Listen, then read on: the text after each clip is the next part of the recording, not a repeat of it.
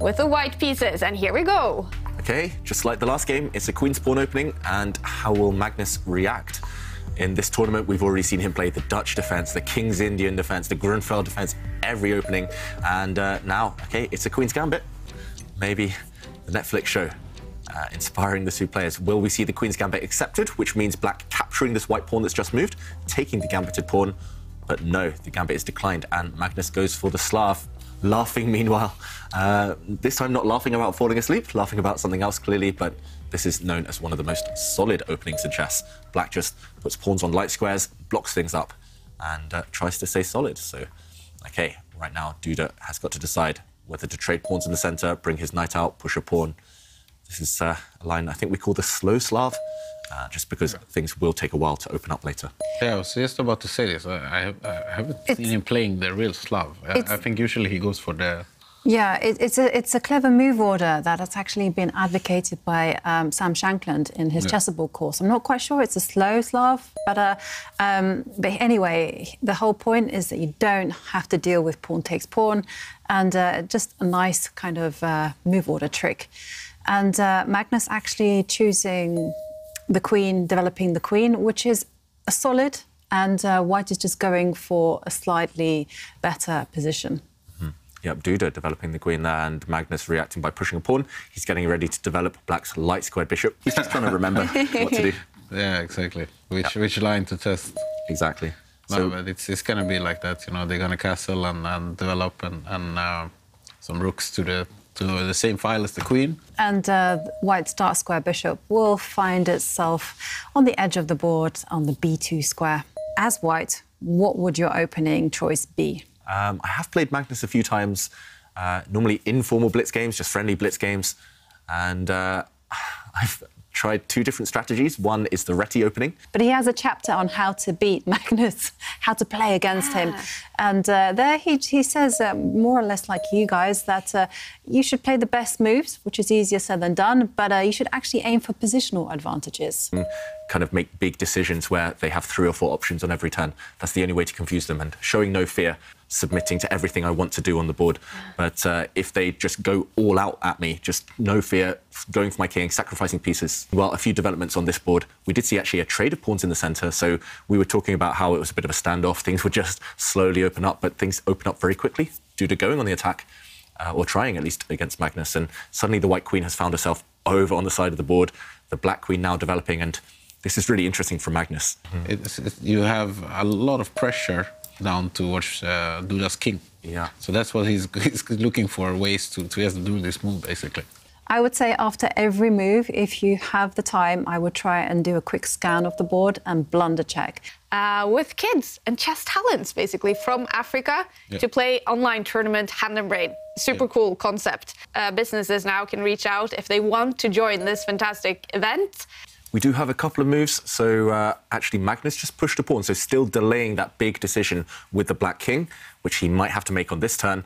But uh, after Black just pushed a pawn, we saw a capture in the centre, one that Jovanka was advocating, and now after a trade of one set of pawns, White's knight has just planted itself in the middle of the board. And um, right now, if we jump in, the big question is, can you castle? And okay, Magnus delays it again. I was going to say, if you castle on this side, the queen side, then this king is a big target. White's knight is going to jump over, attack your queen, attack this pawn as well. This looks disastrous for black. This would be disaster again for the black king. So Magnus decided, okay, still delaying uh, castling and pushing a pawn, taking this square away from the white knight, uh, just covering it. But it's so slow. uh, on the rating list in classical chess. And you know Sod, which also Magnus went Yeah, to, Magnus right? went there exactly. Yeah. You know, then you, there is school fees.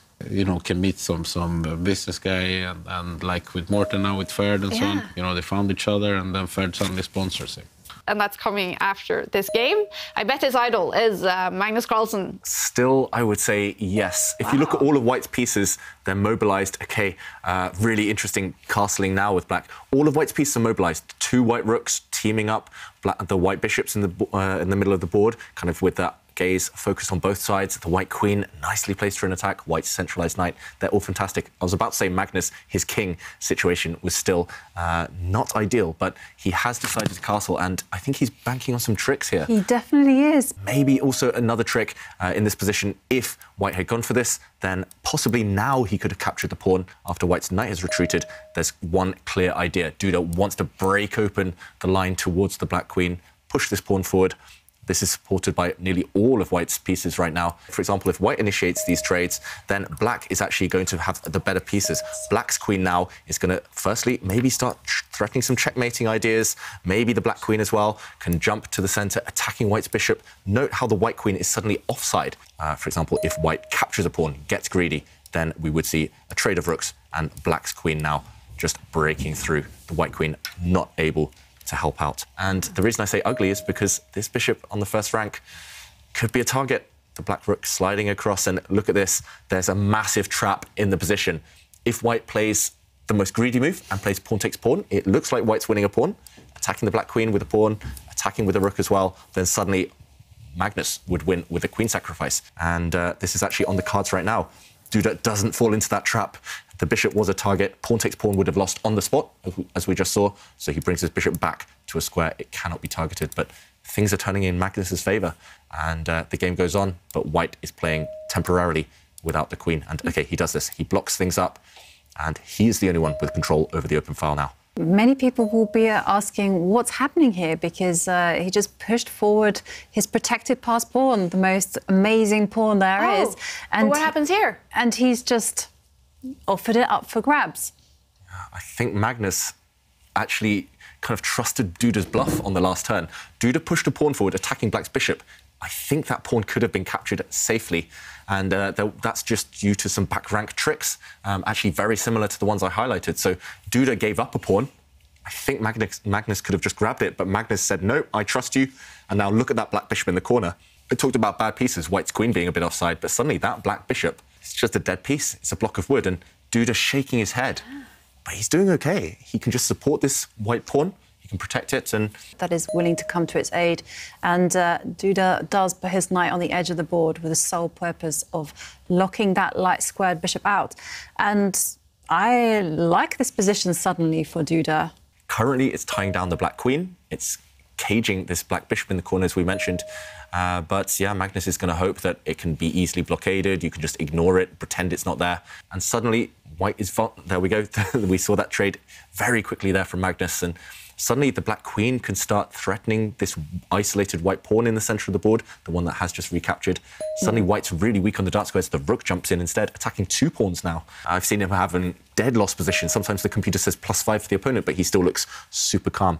This time, no, he's shaking his head and okay, he brings his bishop forward. Oh, no. There we go. I mean, it's just expected because of the clock, because he's lost control on the position, and that's when blunders happen. It, they don't just occur out of nothing uh, most of the time. And okay, here we see Stockfish, the computer suggestions, the top two moves which give black a significant advantage. They're also the most obvious moves in the position. You can just sidestep and capture a pawn. Magnus does this. You could have captured the other pawn as well on the left side. That would have been strong too. But uh, yeah, it's looking very good for Magnus right now. He's a pawn up, and White's struggling to create counter threats. Uh, any compensation here. okay, the White bishop stepped back. That is a bad sign for Duda. And uh, okay, Magnus now, can he continue being greedy? If the black rook goes away from the center, though, maybe White's queen can re-centralize itself. He's relying on tricks to save this game. Magnus is a pawn up, and Magnus is completely dominant on the dark squares. For now, that white pawn is under lock and key. Yeah, I mean, just okay. Magnus does get greedy, as I mentioned, and now two pawns up for black. How do you break through on the dark squares? That's a problem. Okay, uh, white sidesteps with his rook. Huge threat in the position. White, I mentioned the back rank checkmates against the white king. Now black's king is the one threatened. White's rook wants to step up to the top of the board, and that would actually end in checkmate because white's bishop covers the only escape square for the black king, white queen's diagonal. Yeah, and uh, unfortunately, that was uh, logical and very good. The white queen, as mentioned, needs to centralize herself. There we go. There was actually a huge threat, as Jovanka mentioned, the white queen and bishop lined up on the same diagonal, trying to sneak through to the black king. That's just been blocked. I mean, and the thing is that I kind of want to uh, activate the rook, wow, but that's not really possible. Magnus, all he needs to do, bring the black rook into the game, back. And at this point, No, he will stop on the C file and then it's over. yeah, you're right, Pontus. Just And then he's just going to step up with the king or something quite soon. Yes. So I think this is uh, uh, it's not very good for for Duda. That's a very Magnus move, uh, stepping forward with the Black King, just covering everything, defending everything. But instead, Magnus grabs another pawn. He's actually three pawns up. And have we just seen Duda resign? I think we have. Magnus have. takes the win. Wow. With the white pieces in game two, Jan Krzysztof Duda loses to world champion Magnus Carlsen, and Magnus is now up by one point, you guys, in uh, the final.